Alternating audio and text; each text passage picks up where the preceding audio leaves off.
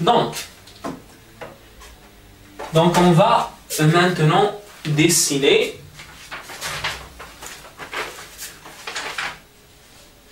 Donc on a donc ça c'est le vecteur déplacement élémentaire.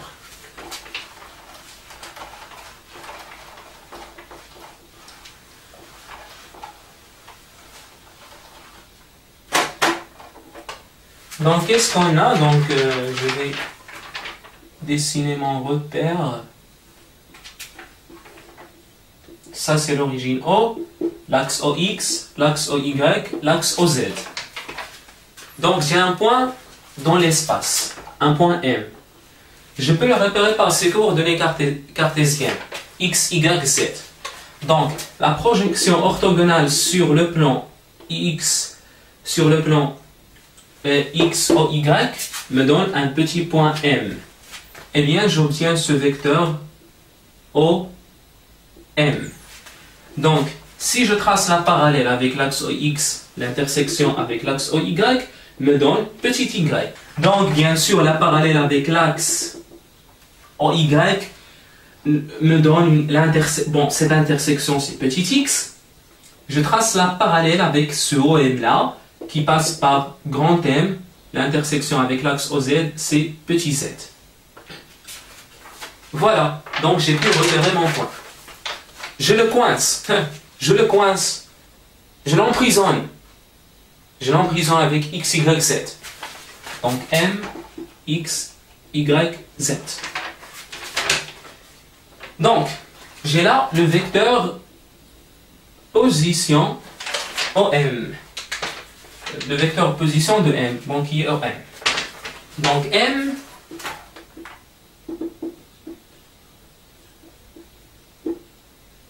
c'est la projection orthogonale de grand M dans le plan X, O, Y. Donc, voyez-vous que O grand M est égal. En utilisant la relation de Charles, on trouve que c'est O petit m plus petit m grand M. O petit m plus petit m grand M. Oui, donc, en fait, on va un petit peu euh, détailler tout ça pour bien comprendre. Donc le cas de O petit m. O petit m est égal. Eh bien, donc bien sûr, bon, je vais représenter la base cartésienne. En fait, notez cela s'il vous plaît. La base cartésienne, on peut la représenter là où on veut. Là où on veut. Là où on veut. Mais par commodité, et souvent et par habitude, on la représente au centre E-O. Mais ne croyez pas que c'est obligatoire de la représenter là. Donc I, J, K. On peut la représenter où on veut. On peut la représenter où on veut. Donc pardonnez-moi, donc, comme j'ai dit, on peut la représenter où on veut notre base cartésienne. Donc, OIJ. Donc, O petit m est égal. Donc, euh, qu'est-ce que je veux là? Eh bien, je veux... Euh, donc, on sait tous que O, O grand M est égal à X suivant I plus Y suivant J plus Z suivant K. Mais pourquoi? On va le démontrer. S'il vous plaît, voyez O petit m. Je veux la composante de O petit m suivant I et suivant J. Je vais utiliser le produit scalaire. Donc si je veux la composante de OM suivant I, qu'est-ce que je fais? Je fais OM scalaire I. Si je veux la composante du vecteur OM suivant le vecteur unitaire I, je fais OM scalaire I. Donc, je vais faire OM scalaire i. Qu'est-ce que j'obtiens Eh bien, c'est la norme de OM fois la norme de I fois cosinus de l'angle entre OM et I. Je peux l'appeler par exemple euh, phi, cosinus phi. Donc ça va me donner OM. OM, la norme de I est égale à 1 parce que c'est un vecteur unitaire, donc ça me donne OM cosinus phi. Voyez-vous bien s'il vous plaît, OM cosinus phi, c'est exactement cette distance X est égal à x. Bon, il suffit d'utiliser le côté euh, adjacent sur l'hypoténuse. Bon, je vous laisse euh, de vérifier ça. Bien sûr, c'est ça. Donc maintenant, je veux la composante de OM suivant J. Je vais faire la composante de O petit suivant J. Je vais faire, oui, oui, je vais faire OM scalaire J.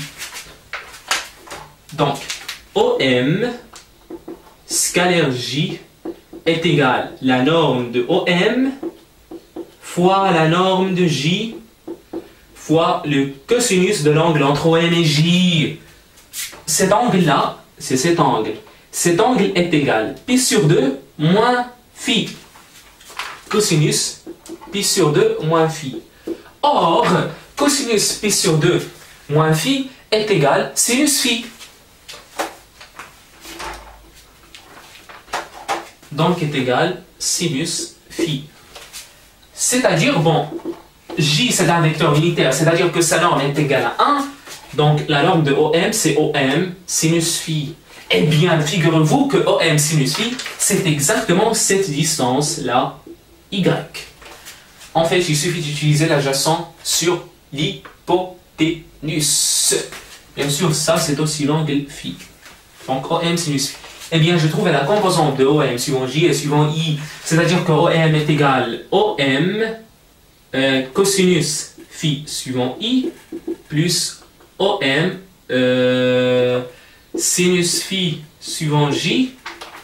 Comme j'ai dit, puisque OM cosinus phi est égal à X, donc est égal X suivant I plus Y suivant J. Pour ce qui concerne petit m, grand m, petit m, grand m est égal à Cm, petit m. Il est bien clair que c'est Z suivant K. Voilà, c'est bien clair. Est égal à Z suivant K. Et voilà, donc, O grand M est égal à X suivant I plus Y suivant J plus Z suivant K. Donc, j'espère que c'est clair.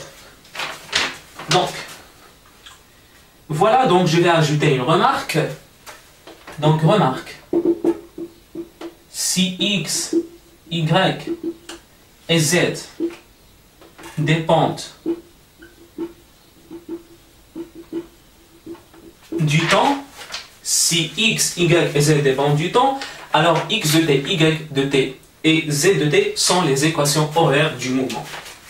Alors, x de t, y de t et z de t sont les équations